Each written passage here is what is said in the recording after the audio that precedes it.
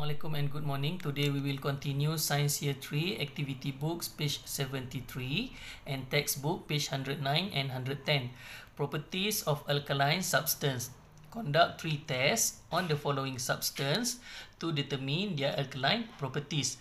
Record the observation in the table below. Okay, we have three substance here: slake lime solution, mustard leaf juice, and papaya leaf juice. Okay. Test 1. Test the substance mentioned above with both red and blue litmus papers. Test 2. Taste a small amount of each substance with your tongue.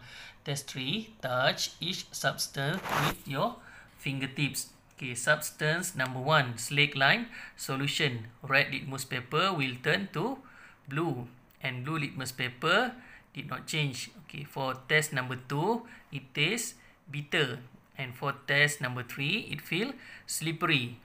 Mustard leaf juice, red litmus paper will turn to blue and blue litmus paper did not change. Okay. Test number two, it feels uh, it it uh, when you touch with your tongue, it tastes bitter and it feels slippery. And for papaya leaf juice, red litmus paper will turn to blue and blue litmus paper did not change. Okay, it tastes bitter and feel slippery because uh, three uh, all these three substance is a alkaline substance.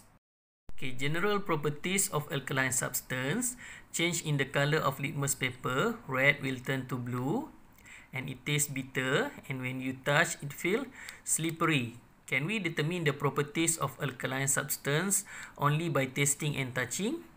Why? No because bitter and slippery substance are not always alkaline and sour substance are not always acidic. Alright? Thank you